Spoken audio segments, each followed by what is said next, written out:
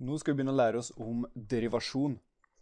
Og derivasjon det er rett og slett noe som eh, bygger litt videre på det vi har lært om momentan vekstfart, gjennomsnittlig vekstfart og grenseverdier. Hvis du har fulgt med på det, så skal ikke dette være noe problem. Eh, I denne videoen her så skal jeg bare utlede formelen for den deriverte, og så skal vi i neste video begynne å ta noen eksempler der vi deriverer funksjoner. Så det vi starter med, det kan jo være å bare gjennomgå litt av det vi kan. Eksempel vet vi at stigningstallet eh, til en rett linje, det er det samme som delta y delt på delta x, som er det samme som y2 minus y1, delt på x2 minus x1. Eller hvis du har lyst til å skrive det på en annen måte, så kan vi jo bytte ut y med f av x. Så her har vi f av x2 minus f av x1 delt på x2 minus x1. Så det er jo det vi kan om stigningstallet til en rett linje. Og vi skal videreføre den nå, sånn at den også kan gjelde for en linje som ikke er rett, der vi har en kurve. Så la oss si at vi ønsker å finne momentan vekstfart i nøyaktig det punktet her. Så vi kan kalle dette punktet for x1. Og da vil jo den selvfølgelig ha punktet x1 eh, f av x1, så det vil jo være x1 f av x1. Men det er ikke så farlig akkurat nå. Det er mer x-verdiene som er uh, det vi skal ha fokus på akkurat nå. Så kan vi tenke på ok, hvis vi har lyst til å finne momentan vekstfart her, så vil jo det være stigningstallet til en linje som tangerer det punktet. Så det vil være stigningstallet til i linje som ser noe sånn cirka sånn ut. Men det er jo en ganske unøyaktig måte å gjøre det på, fordi vi har jo ikke noe uh, øyemål. Det er jo ikke akkurat det mest nøyaktige vi har. Så vi kan ta f.eks. gjennomsnittlig vekstfart mellom de to punktene her. Så kan vi kalle det punktet her for x2. Og la oss bare gjøre oss klar over at det som ligger mellom x1 og x2, det er jo en avstand som vi kan kalle for delta x. Det er jo rett og slett bare eh, forskjellen i x-verdi mellom de to punktene. Det vil jo bare være den avstanden her. Så vi kan også si at x2 er det samme som x1 pluss delta x. For da har vi beveget oss x1 bort hit, pluss delta x, og da havner vi på x2. Så vi kan også bruke det her for x2 hvis vi har lyst til det. Men nå, når vi ønsker å finne momentan vekstfart her, så kan vi jo prøve å eh, på en måte tilnærme det ved hjelp av gjennomsnittlig vekstfart som vil se noe sånn ut. Det vil jo da være vekstfarta til den rette linja her. Men det er jo ikke nøyaktig den vi er ute etter. Vi er jo ute etter den linja som går sånn cirka sånn. Så det blir ikke helt nøyaktig. Så det vi kan gjøre da, er hvis vi flytter det punktet Kan vi kanskje skrive opp det her igjen. x2 er lik x1 pluss delta x. Men la oss da si at vi flytter det punktet sånn at det er litt nærmere. Du kanskje har det punktet her i stedet. Så da har vi x2 her. Og det vi har sett da, er at delta x har blitt litt mindre. Da får vi en linje som ser noe sånn her ut.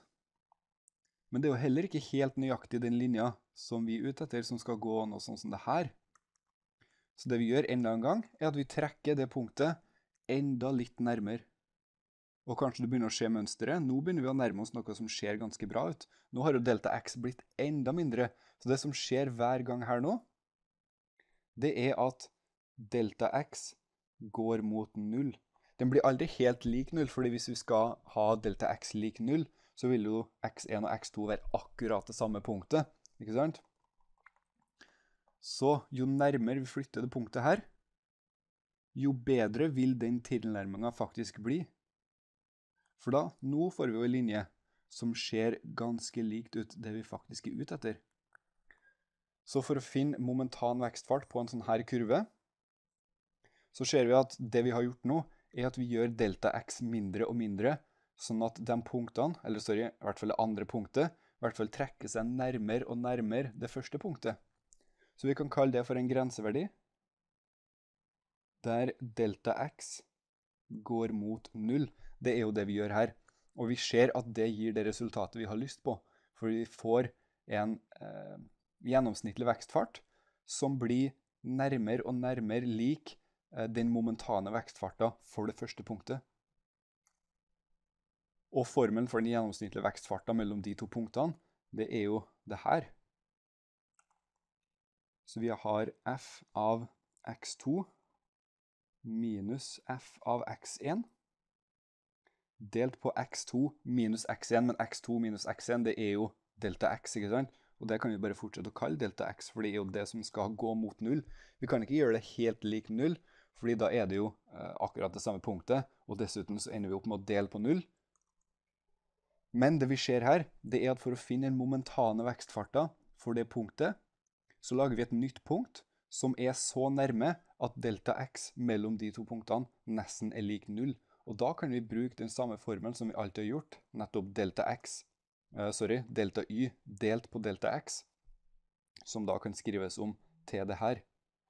Men så kan vi også skrive om x2. Så vi får f av x pluss, sorry, x1 pluss delta x minus f av x1 delt på delta x mellom de to punktene.